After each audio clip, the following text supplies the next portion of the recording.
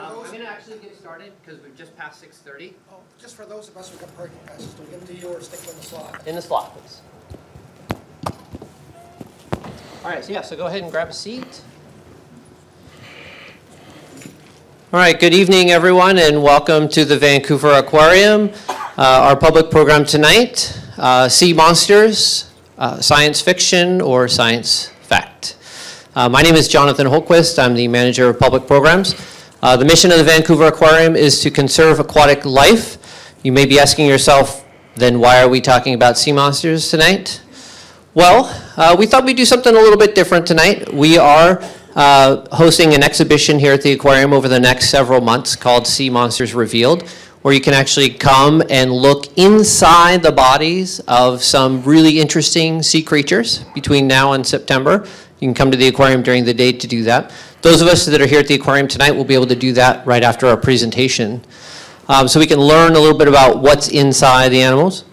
But uh, we did the presentation, we're doing this presentation, this topic, because uh, sea monsters are fascinating. And uh, some of us, from when we were children, were always fascinated with sea creatures. And uh, it turns out that a lot of the animals that scientists study and that we study here at the aquarium were mistaken for sea monsters in the past. And there are actually scientific explanations uh, that describe the actual, the real animals that people saw uh, and that were or were not sea monsters, that were considered sea monsters in the past. Um, our speaker tonight uh, is a technical writer. Uh, he has spent his life basically studying uh, sea monsters. He's very passionate uh, and an inspiring person. Uh, he he uh, went to BCIT here uh, in British Columbia, and uh, he's going to be talking to you about, uh, of course, sea monsters and his passion. And um, if you have any questions, you can uh, wait uh, and, and answer, ask those questions at the end of our presentation. So I'll go ahead and turn it over to our speaker, Adam McGirr, the Vice President of the BC Cryptozoology Club. Welcome.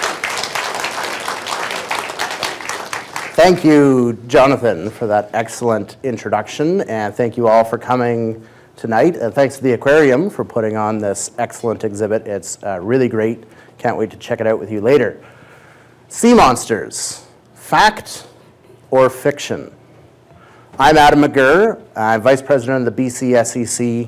As Jonathan mentioned, this is a subject that I've been interested in pretty much since I could read. I was interested in things like sea monsters. And one question really stuck out for me. Do sea monsters really exist? We all know in the Jurassic and the Cretaceous period, there were huge marine dinosaurs swimming around, feasting on small fish and squid. We know that there are tales from ancient times of sailors encountering giant octopus-like creatures that they knew as the kraken. But in this modern world, in this day and age, do sea monsters really exist? I'm a member of the BCSCC, which stands for the British Columbia Scientific Cryptozoology Club. I emphasize the scientific because when we hear reports of things like sea monsters, our role at the BCSCC is to determine is there a biological explanation, a known animal that could fill the role of the sea monster. So we are made up of people like journalists, photographers, even scientists, and when people have a sighting of a sea monster, they call us. We like to think of it as a form of citizen science. If you have a sighting of a whale or a dolphin, you can call the aquarium here, the Cetacean Sightings Network. If you have a sighting of a, of a rare shark, you can call the Department of Fisheries. They have a hotline for that. If you have a sighting that doesn't fit either of those two categories, you can call us. We'll be happy to take your call and ask you a few questions about what you've seen. There have been hundreds and hundreds of sea monster sightings over the years. There are only a few that really rise to the top. A lot of people ask me, you know, is this your full-time job? Jonathan mentioned I'm a technical writer by trade. There's a big difference between sea monsters and wealthy cryptozoologists. the difference is that sea monsters might actually exist. Okay? The people who are interested in this sort of thing don't they don't do it to get rich. They're interested out of an insatiable curiosity about the natural world. And that's why I'm here tonight. A lot of the time when we get a report of a sea monster, one of the first things we wonder is it could it be something like this? This is an elephant seal. They can be several hundred pounds. They can be quite irate, as this one appears to be. Now, elephant seals are not common in the waters of British Columbia, but I actually participated in a, uh, a course here at the aquarium. It was the Intro to Marine Life course. It was excellent. And I learned that elephant seals can sometimes migrate into our waters. So if you can imagine three or four of these massive marine mammals swimming together in a line, you can see how that might trick some people into thinking of sea monsters. Here's another usual suspect. Right? This moose, uh, it's got this kind of horse-like, camel-like head, which is a very common attribute that people describe when they have sea monster sightings. It's even got a little bit of a hump on its back. Anybody who's seen a moose in real life knows that they can be thousands of pounds. They can be very significant creatures. And moose and deer have actually been sighted swimming out in the open ocean. Perhaps they, you know, they try to cross over from the Sunshine Coast to some of the smaller islands in the, the Georgia Strait. Maybe they get swept away by a very strong ocean current. But fishermen have seen deer swimming way out in the ocean where they don't seem to belong. And so that might also be a source for confusion. But do all sightings of sea monsters necessarily fall can they be satisfied with one of these creatures? I'm not so sure. I'd like to tell you a story. In the early 1800s, a man named Pierre Denis de Montfort, he painted this illustration here after interviewing sailors who were sailing off the coast of Africa.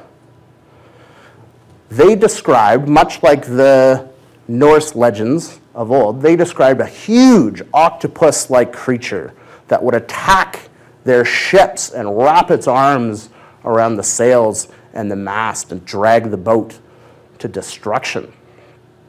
Pierre Denis was actually a trained malacologist. A malacologist is somebody who studies mollusks. So octopus, squid, uh, even things like snails and uh, clams, those are mollusks. Pierre Denis risked his reputation on this painting. He presented the evidence to his peers in the scientific community. And guess what? He was laughed at.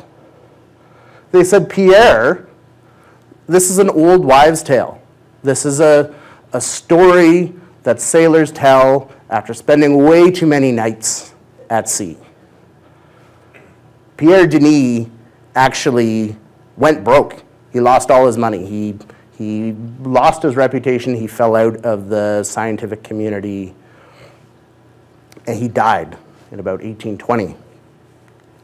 1861, the French gunboat Alecton encounters this massive creature in the water. They tried to capture it, to bring it aboard the ship. They didn't succeed in capturing the whole specimen, but they got the top piece of this animal up here, it's part of the mantle, and that's when they determined it's not a giant octopus, it was a giant squid. Okay? Now, 1861, that was a long time ago. In more recent years, 2003, there were a couple of sailors participating in the Jules Verne Trophy. This is a race around the world by sailboat. Off the coast of Portugal, suddenly they were unable to maneuver their boat. They discovered a giant squid, just like this one, wrapped around the rudder of their ship. They had to stop.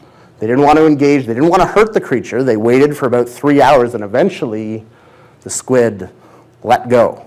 That was 2003. Maybe they're just trying to hitch a ride this whole time. 2004, Japanese scientists captured the first footage of a living giant squid in its natural habitat. Okay, these animals are massive. No one can deny that these monsters exist in the sea. Many specimens now have been collected, they have washed up on the shores, even in Newfoundland, part of our country. Many specimens have washed ashore. There's, in fact, an entire museum now in Newfoundland devoted to the giant squid. You can learn interesting facts about the giant squid, like its eyeball. The eyeball of the giant squid is currently the largest known eyeball in the entire animal kingdom. It's about the size of a grapefruit. A lot of people believe that the size of an eyeball may be indicative of the intelligence of an animal. So interesting. They do live in the dark, in the depths. Having good vision would help them find, find prey. Also, in 2004, scientists discovered that the giant squid is always laughing. Does anybody know why the giant squid is always laughing? It's because somebody went down and gave them each 10 tickles. Right? Is that bad? Thank you. Thank you. Thank you very much. That's not true. The giant squid is not always laughing. We don't know. Another impressive specimen. This is Vampyroteuthis infernalis. Its Latin name literally translates to the vampire squid from hell. Okay, this is a real creature. This is a drawing that we have here. There are not a lot of photographs that exist of Vampyroteuthis, but this is a, a real creature confirmed by science. Appropriately, Vampyroteuthis feasts on the dead. Okay, little bits of fish and other squid that are feasted on by large marine predators, like sharks, trickle down to the depths where Vampyroteuthis is waiting to suck up all the scraps into its beak. Got to be one of the best Latin names in the animal kingdom. Going back in history again, Olaus Magnus in 1555, he published the Carta Marina. It's a map of the oceans of the world. And on many places on this map, there were depicted sea monsters. Again, these go back to Norse mythology, Greek mythology. This is one of the pictures from the book that he also published, A History of the Northern Peoples. This clearly depicts a, you know, a sea serpent-like creature. Maybe there's some smaller uh, juveniles down there. It's attacking the ship. It's making off with a very unhappy sailor there. Maybe it's eating him. Could this encounter that's depicted here, can you explain that with the giant squid? Maybe, maybe not. 1848, the HMS Daedalus, sailing off the southern tip of South Africa, the Cape of Good Hope. It's 5 p.m. The crew is having dinner. They're all in the mess hall. The captain is alone on the deck. And he sights this massive animal, can only be described as a sea serpent. And he calls the entire crew to come see. You can see in the drawing, they're all witnessing this giant creature. They said it was swimming at about the same pace as their boat. It was larger around than a full grown man could wrap his his arms around. It had a very serpentine like appearance. And the captain was so awestruck by this creature that he commissioned a set of drawings. This is one of the drawings. And the drawings were reprinted in many newspapers around the world. It caused a frenzy of interest in the subject of sea serpents. 1860, very shortly after, an oarfish washes up on the beaches of Bermuda. Now, the oarfish shares many attributes with your classic sea serpent sighting. It's got these kind of continuous fin running all the way down its back. It's even got a little bit of a fringe on the back of its head, very common attribute in sea serpent sightings. This is the longest bony fish that we know of that exists on the planet, the oarfish. Here's a better picture. Its Latin name is Regalecus glesne. Regalecus glesne means the king of herrings. It's actually a type of herring. Uh, some people believe that it was given the name king of herrings because of its immense size. Other people believe that the king part comes from this crown of appendages that it has on its head over here.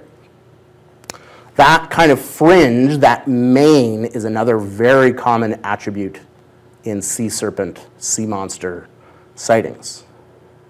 So, Regalecus, again, this is a drawing. This is a creature that is known to science. They've washed up. They can grow 30, 40 feet in length. They can be several hundred pounds. Are all sea monster sightings attributable to an oarfish? I don't think so. Who's heard of the Loch Ness Monster? Everyone, right?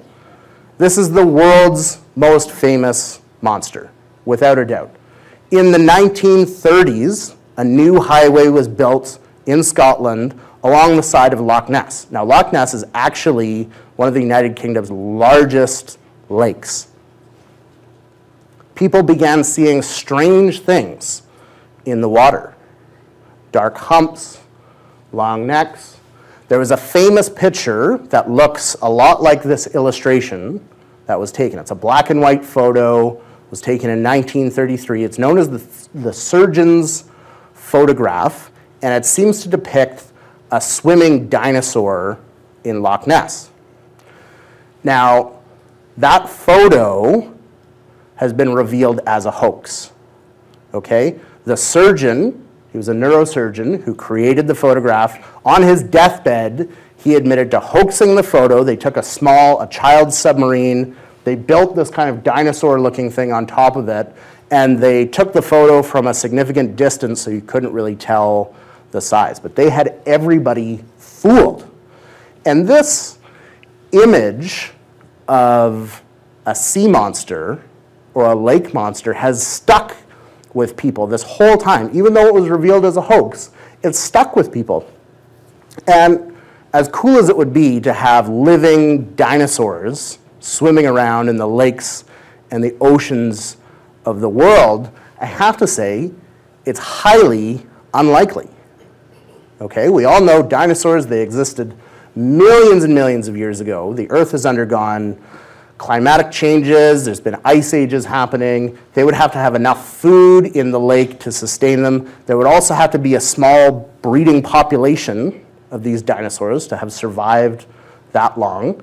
Reptiles breathe air, so presumably we would see them even more often at the surface. Uh, plesiosaurs, the one that this one is modeled after, were actually known to get out on land occasionally, so we might witness that behavior. And we've learned a lot about dinosaurs since the 1930s through fossil discoveries.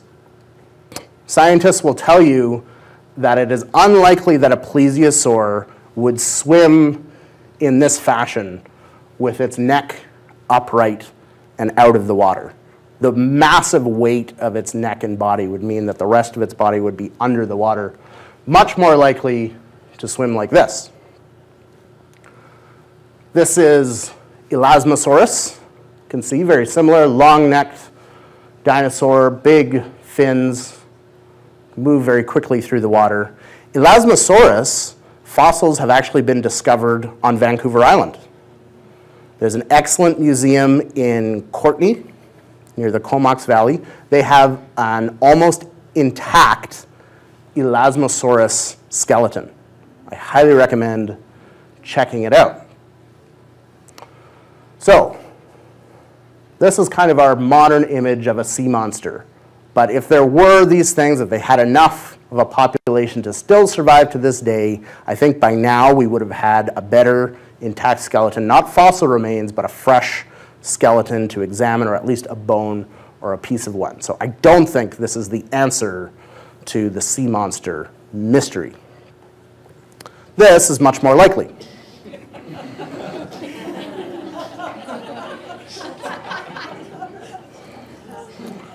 excellent web comic by the name of Man vs. Manatee. It was actually created to bring awareness to the situation of manatees and how they're threatened by things like uh, boat traffic and pollution and that kind of thing. Um, you can imagine, like I mentioned earlier, a few seals or sea lions or manatees or walruses uh, swimming information. Maybe they're not quite clever enough to know when the, the tourists are around. Um, but it definitely could happen, and there could be a lot of sea serpent reports that come in that uh, are really just a series like this. Loch Ness is open to the ocean through the river Ness. Uh, there's a lot of trout in Loch Ness, so it's, it's very possible that seals could swim in and be present in the loch. Much closer to home, I took this picture in Cadboro Bay, which is a very pretty seaside community just outside Victoria on Vancouver Island. Great spot to have a picnic. Um, if you stop there, you can see this guy. This is Cadborosaurus, or Caddy for short. He has been a, almost a mascot of the community for decades and decades. And it's because in the 1930s in Cadboro Bay, there were a number of sightings of a large unknown creature. The Victoria Times colonist at the time had a regular feature article about Cadborosaurus sightings, and it wasn't just Cadboro Bay, it was Oak Bay, even as far as Tofino, um, Ucluelet, that area. People were seeing a large, long-necked object swimming in the water, clearly an animal, they didn't know what it was in 1937, this happens. This is known as the Naden Harbor carcass. Now, Naden Harbor is not on Vancouver Island. It is in the former Queen Charlotte Islands. It's now known as Haida Gwaii. And in those days, there was a whaling station set up in Naden Harbor. So, as they did, the flensers, the flensers are, are the men who cut up the whale, prepared it to be sold. They opened up the belly of a very large toothed whale and they found this. Now, these are guys who have seen a lot of different things at sea. They spent years at sea. They'd never seen anything like this before. It was so significant to them that they pulled it out and they posed it on these boxes. You can see they even put a drop sheet behind here. This is 1937. That's a lot of uh, foresight for the time. They had no idea what this was. They thought it was significant. The scale is a little bit tricky here. This is not a 40 foot long sea monster. This is probably only about six or seven feet head to tail. And you can see there's a little bit of a fluke happening here in the tail. There might be some evidence of a uh, flipper or a fin here. You've got your kind of vertebra, spinal column, and then a head, kind of like a horse-like, camel-like head. In the 1930s, this was tentatively identified as a fetal baleen whale carcass, tentatively. The Royal BC Museum in Victoria actually got some samples of the, the tissue. They did some analysis. They thought, well, we don't know for sure, but we're going with fetal baleen whale. Since then, a number of scientists, marine biologists, have looked at this picture and said, mm, I don't know it's still a mystery. And unfortunately, the remains of the carcass have been now lost to time. Some people think um, the biological station in Nanaimo might have some pieces. People have asked the Royal BC Museum if they might still have some pieces that were sent for analysis. It would be amazing if somebody discovered this in the archives in the basement somewhere of their museum and we could do, using modern technology, some real analysis. Many people believe this is a small or a juvenile Cadborosaurus skeleton. Ogopogo, right? If you've been to Lake Okanagan, very nice. In the summertime, you may have seen this. It's in Kelowna City Park. Again, very typical depiction of the lake monster, sea monster here with the kind of horse-like head and the, the rolling kind of coils behind it. The interior Salish peoples that had lived in the region of Lake Okanagan for hundreds and hundreds of years, they also knew of a creature in Lake Okanagan, but they did not know it as Ogopogo. They knew it as Naitaka, or demon of the lake. And in those days, it was custom, if you were crossing the lake in a rowboat or a canoe, you would always, always bring a chicken. When you got to the center of the lake, you would drop the chicken as an offering to Naitaka, and the demon of the lake would let you cross safely. Well, one young man didn't believe in the legend of Naitaka. He thought it was an old wives' tale. He had four horses, and he swam them across the lake. It was common in those days. Horses actually don't mind swimming short distances across lakes. He had his, his canoe, he had his four horses, he was holding them by the reins. They were swimming ahead of his boat. He got to the center of the lake, and something unseen from the depths below grabbed the horses and pulled them down. He had no choice. He pulled out his knife and he cut the reins to avoid being sucked into the depths with his horses. The horses were never seen from again. But when he got to the other side, he realized that chickens are much cheaper.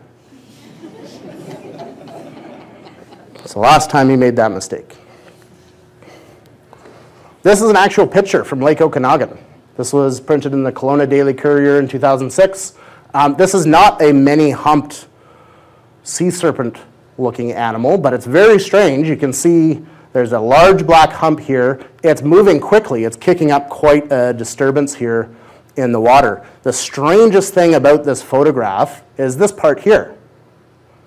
I've asked a few different marine biologists their opinion about this photograph, and they each said it almost looks like a dorsal fin. A fin that has kind of flopped over a little bit, maybe a porpoise, maybe a killer whale. Having any of those animals in Lake Okanagan is almost stranger than Ogopogo. Okay, if there was a pod of something like a large cetacean like a porpoise or a dolphin in Lake Okanagan. We would see them, we, they would be uh, coming up for air, maybe they're jumping. Uh, we would know by now somebody would have a picture, especially considering all the boat traffic that's on Lake Okanagan in the summertime. So again, this photo is an unsolved mystery.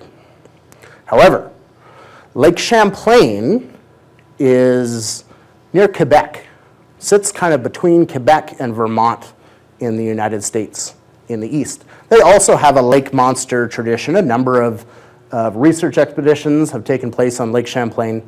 Uh, recently, they used a hydrophone. It's kind of a microphone that you lower into the water to try and learn a little bit more about what lives in the water. They detected echolocation signals in Lake Champlain. So much like a dolphin or porpoise, other toothed Cetaceans use echolocation to find food. Some people have suggested whatever's living in Lake Okanagan might also do that. As far as I know, nobody has done any significant testing. Cameron Lake is on Vancouver Island. Now, Vancouver Island actually has at least three different lakes that have a lake monster tradition. You've got Cowichan Lake down south. Sproat Lake is very close to Cameron Lake, actually has ancient petroglyphs that depict a sea wolf, sea creature, and Cameron Lake. Um, I actually went to Cameron Lake on two separate occasions with a team to do some research, try and figure out in the lake. We were responding to this photograph. This picture was taken in 2009. You can see a very large disturbance on the lake. This lady, uh, we interviewed her. She was driving the highway towards Port Alberni on the way to Tofino. If you ever cross the highway or cross Vancouver Island towards Tofino, you'll, you'll go right past Cameron Lake. She saw a very large disturbance in the water. She parked her car safely, which is tricky to do on that highway, and she took this picture just as the creature was kind of submerging back under the water. Now, we've had this photo analyzed by experts. They estimate it's about six to eight feet in length, this disturbance here. While we were on Cameron Lake with our sonar, with our fish finder, we had several interesting signatures. Under the water, six to eight feet long, one of the deeper parts of the lake, one of the theories about Cameron Lake is this guy white sturgeon. Now, sturgeon are known in Europe for caviar, delicious caviar. Here in British Columbia, white sturgeon uh, grow to very impressive sizes. In the Fraser River, sturgeon are regularly caught weighing 1,000 pounds. They're 10 feet long. They can live up to 150 years old. There's actually an organization called the Fraser River Sturgeon Conservancy and they will take you out for a day on the river. If you happen to land a sturgeon, they will measure it, tag it, kind of assess its health and its status, and then release it back into the water safely. As far as we know, and I looked up the, the records of Department of Fisheries, there is no official record of white sturgeon in Cameron Lake or Lake Okanagan. But it would be an interesting scientific discovery if somebody were to take an underwater camera or an ROV and demonstrate that there are sturgeon in those lakes. It would really add to our knowledge of those areas. Giant moray eel. This is another usual suspect that people talk about when you're dealing with lake monsters and sea monsters. Now, eels don't grow that large, comparatively speaking. The giant moray eel could reach a length of, say, 10 feet, maybe 11 feet.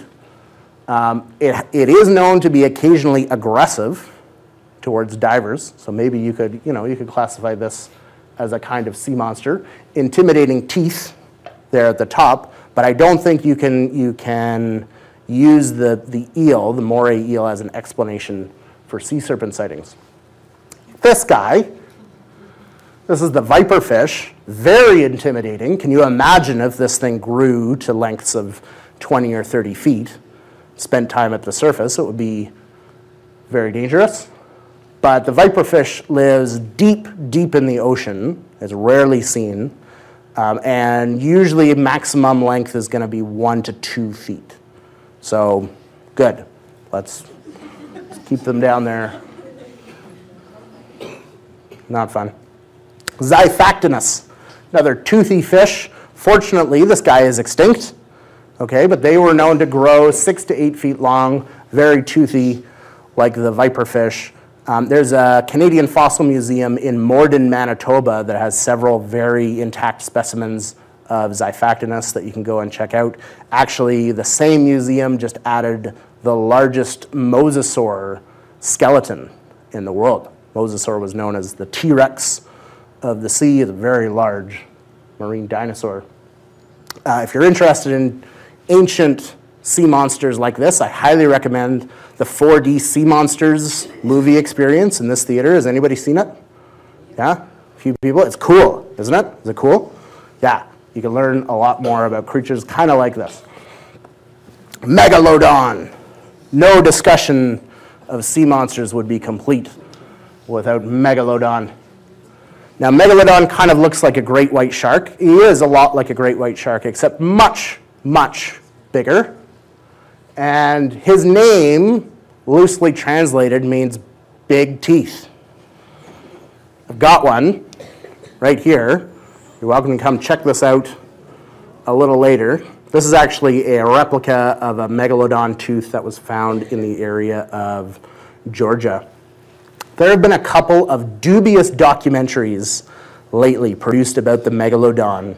Some people believe that they're still swimming around in the oceans, and the evidence that they cite is the fact that teeth like this are still found. What they forget is that this was based on a fossil. It's a fossilized tooth. Nobody, you can tell by kind of the coloration of the tooth and the, the damage that it sustained, whether or not it's a fossil or a fresh tooth. Fortunately, I can, I can definitely say no fresh megalodon teeth have been found recently. Very impressive. Also, on the list of big sharks, impressive sharks, Cetorhinus maximus is also known as the basking shark. And its Latin name, I'm going to break it down a little bit for you. Ceto comes from the Greek keto, which literally meant marine monster. Okay? The rhinus part, does anybody want to take a shot at what rhinus might mean? nose, rhino. And maximus, pretty self-explanatory. These sharks can easily grow to be 40 feet long. And these sharks were a common sight off the shores of Vancouver Island not that long ago. In the 1950s and 1960s, basking sharks were so common, they were actually considered a nuisance. Fishermen on Vancouver Island would usually carry shark insurance because these sharks, they spend a lot of time at the surface. That's why they're called basking sharks. They, they're filter feeders, so they don't have a lot of teeth like megalodon. They suck in water and plankton and small fish, and then they push it over their gill rakers. They expel the water. They keep all the tasty bits. So these animals, they get tangled up in the fishermen's nets. They would cost them all kinds of money. It was very common for fishermen to carry a shotgun on board their, their boat. If they saw a basking shark, they would just shoot it on sight. There was actually a special boat, fishing patrol boat, that was equipped with a large knife on the front of the boat, and they would regularly patrol the waters. And if a basking shark was sighted, they would ram the shark and break its back so that it didn't get tangled up in any nets. Needless to say, the basking shark is now critically endangered. Okay? However, there have been a few, just a few sightings of the basking shark in recent years in the area of Vancouver Island, which is good. Maybe it means they're recovering, they're finally coming back. So, if you were on the beach or in the water, especially around Vancouver Island, and you saw a 40 foot creature swimming quickly towards you, I think you would have no choice but to ask yourself, do sea monsters really exist? Thank you.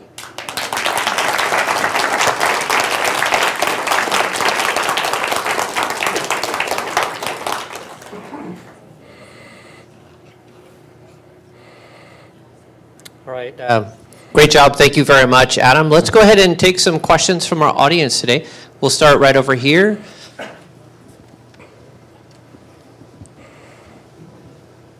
The question of the sightings of uh, monsters in freshwater lakes um, brings to mind, because so, there are some uh, freshwater cetaceans, mm-hmm. as, as opposed to some of the other ones you cited were clearly uh, saltwater ones. And that, that to me is an important question mm-hmm. whether they are uh, salt sailing or freshwater beings. Thank you. Yeah, so the question was about freshwater cetaceans. Uh, I know in the Amazon there's a river dolphin that swims up, uh, Lake Okanagan there, showed the fin. I have to wonder though, you know, if there are freshwater cetaceans, I, I would think that we would see them more often, especially on a lake like Okanagan that is so busy, you know, you can't even get a hotel room in Kelowna in the summertime. It's, that's how busy it is. Uh, yeah, they, they can be. Um, but there would also, the same rule applies, there would have to be enough of a population. Uh, Lake Okanagan was many years ago open to the ocean through the Columbia River, but it's a very long distance for a pod of cetaceans to have traveled into the lake. It is an important thing to keep in mind, though. Thank you. Questions? Anybody else?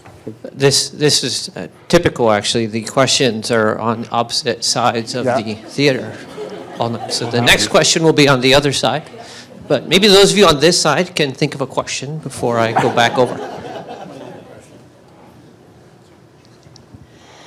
Um, I have, I remember hearing that Loch Ness is extremely deep, and I'm wondering if the other lakes like Champlain and, uh, uh, well, the others are also really deep, and if that has anything to do with what people might be seeing. Okay. Good. So the question was about the, the rumor that Loch Ness is extremely deep. I've actually heard uh, Cameron Lake on Vancouver Island is bottomless. It's a bottomless lake, which we all know, you know, that's somewhat impossible. Um, but it is a good point. Uh, lake Okanagan has a few caves um, near the uh, Rattlesnake Point. Uh, Cameron Lake is full of caves. The Horne Lake caves are actually right near there, and many people think that Horne Lake and Cameron Lake are connected by an underwater, underground tunnel. There's a lot of limestone in there. They're carved away by water over the years. So I think it's important to keep in mind that a lot of these lakes might have features that we're not seeing at the surface. They might have areas that we can't easily explore. Really, if you're going to do a search for a lake monster, you can't just spend some time on a boat on the surface. You need to be plunging into those depths, doing things like um, comprehensive sonar scans. Some of those projects have been undertaken, especially on Lake Okanagan.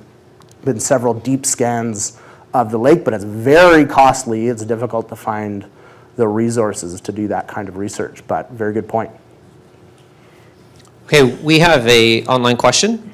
Uh, Do you think there are more discoveries to be made for large sea animals? Okay, more discoveries for large sea animals. I certainly think the ocean still has secrets to be revealed. There is a marine census that is done. I think one was just completed in 2012. There were several new species of things like jellyfish, even very small cephalopods.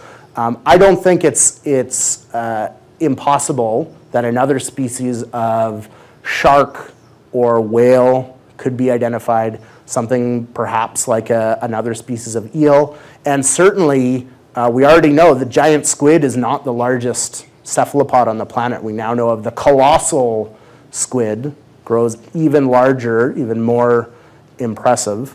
Um, so I definitely think there's potential uh, in the ocean, but I also think it's very important for us not to um, interfere too much into the natural habitat of these animals, because when we go looking for things, we tend to disturb things a little more than we, than we mean to. So I, I certainly think if the oceans are healthy over the next few decades, then more discoveries will be made, more exciting discoveries will be made. And certainly the taxonomists will be very pleased if we continue to find new animals. Yeah. Because they'll, they'll have some things to do. New Okay. names. Uh, s- Next, right over here.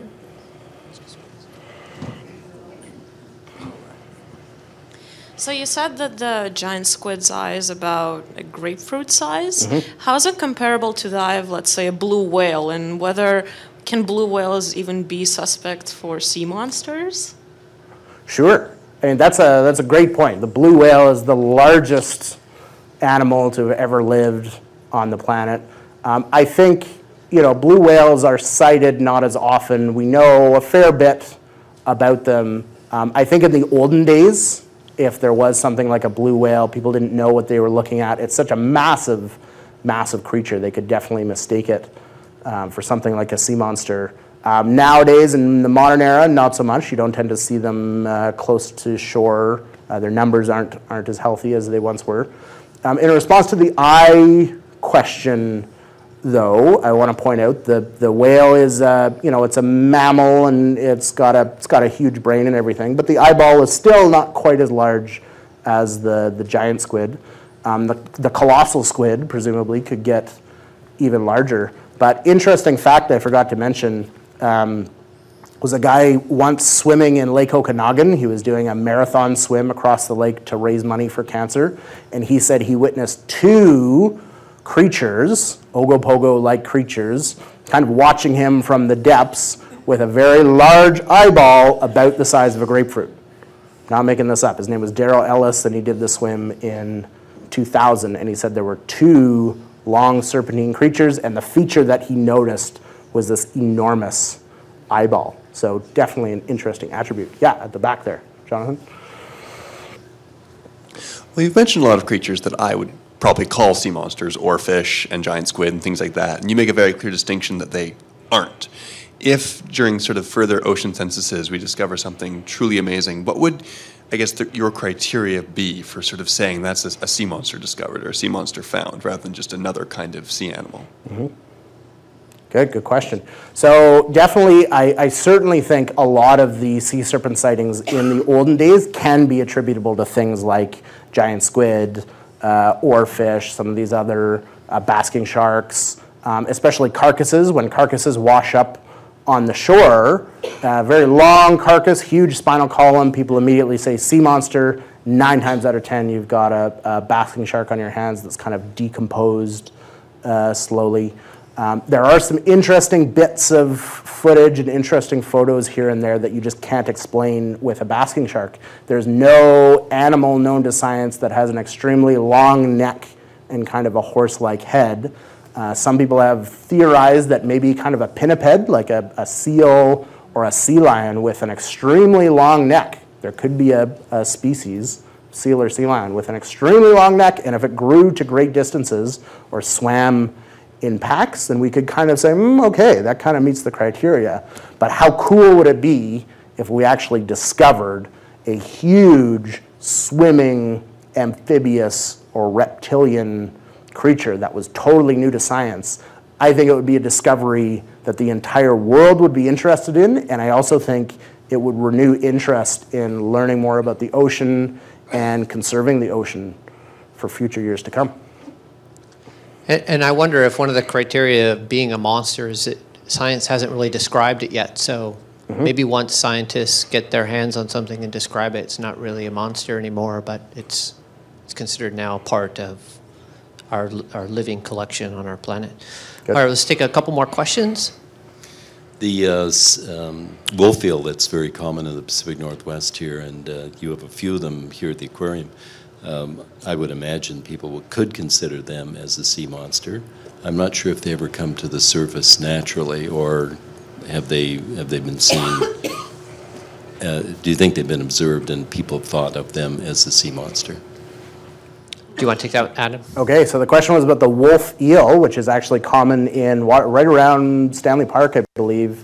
Um, Lighthouse Point, it's common for divers to run into wolf eels. Apparently, they're, they're not beautiful looking creatures, they're kind of ugly, but apparently they're very friendly, and divers will interact with them. They're not intimidating. The uh, moray, large moray eel that we had up on the screen earlier is known to be fairly aggressive.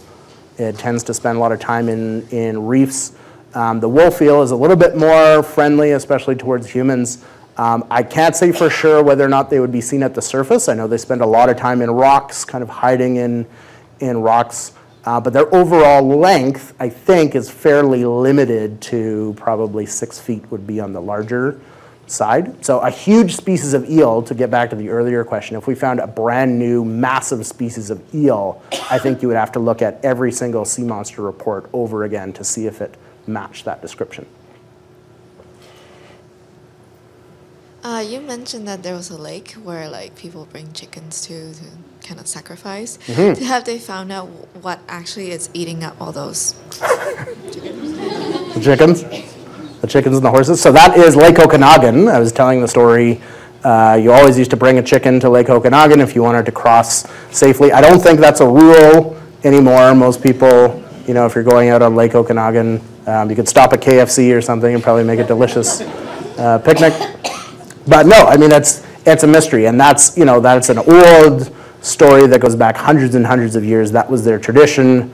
Drop the chicken in the lake, cross safely. We may never know what was eating those, those animals, those offerings, but it seems to me that there, there could be, like Okanagan is large enough to sustain a kind of large predator, and even a few of them which would be necessary if we're talking about a monster that has been talked about for hundreds of years and sighted for hundreds of years. There can't just be one Ogopogo. There has to be a few of them, and the Daryl Ellis anecdote of the marathon swimmer, he saw two of them. One was much larger than the other one, so they must be able to kind of find each other and, and reproduce. So, unsolved mysteries. All right, we'll take one last question, and then uh, for those of you here at the aquarium, um, we'll have some time to talk with Adam one-on-one uh, at the break. So hey, we've got a question right here. About the giant squid. So the giant squid is its own species, right? And when was it uh, described? Okay. Uh, I believe the giant squid was originally described way back in the 1800s as a distinct species. I had a picture up there of the Alecton, the French gunboat. They actually collected a portion of the giant squid. So the species was described back then. It was not actually filmed in its natural habitat for 150 more years. But yes, the, the giant squid, a lot of people confuse the Humboldt squid, which is very common in the, in the Pacific. It is a large squid, but it is not a giant squid. And there- now there's also the colossal squid, which is a distinct species from the giant squid. It has a number of distinct characteristics. Uh, it makes me wonder, the comment about the taxonomists, if they maybe got a little bit too excited. So you've got the jumbo squid, the giant squid, and the colossal squid. What comes next when we discover the next big squid species? Kraken squid, Mega squid. mega squid. I like it. Are they deep livers? Do they, live in the, the bottom of the ocean? The giant squid. That's where, that's where uh, sperm whale go down. Yes, giant squid and colossal squid are known to live extremely deep um, into Ant- uh, Antarctica, the area around Antarctica between, you know, Africa and Antarctica, uh, South America, Australia, where it's very, very cold. That tends to be their natural habitat. So you're not going to run into a giant squid, say, around the Great Barrier Reef or right off the shore of Vancouver Island. No, but there was a giant squid um, specimen that washed up on Long Beach in Tofino in 2008. So they are here, and it's, it's the type of thing with climate change happening, oceans are kind of changing. If we start to see more of those types of animals turning up on our shores, then that could be an interesting indicator of what's going on way down deep.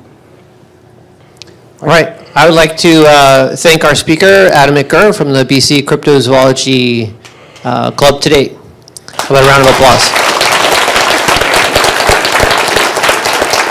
That was a great presentation. Thank you very much. Um, So for those of you here at the aquarium, we're going to do a prize uh, giveaway, uh, trivia. So uh, stay in your seats, and we'll do that after our broadcast is over. Uh, Thank you so much for plugging some of the Vancouver Aquarium's great programs. Our Cetacean Sightings Network is up here right now. We didn't pay him to do it. Uh, He just did it on his own, uh, so thank you very much. Not too late. And, uh, you know, it's, um, it's great when we see all the different connections between these different programs.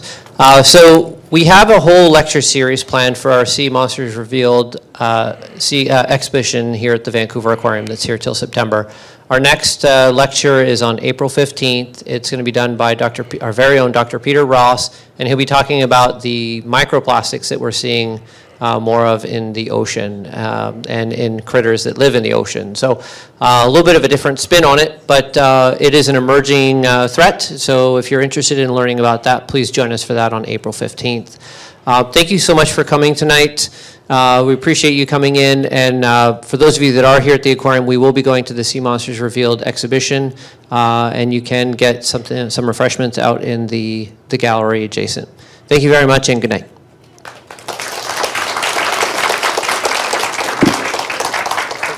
Thanks. All right, so, uh, so uh, trivia, right. Okay, the broadcast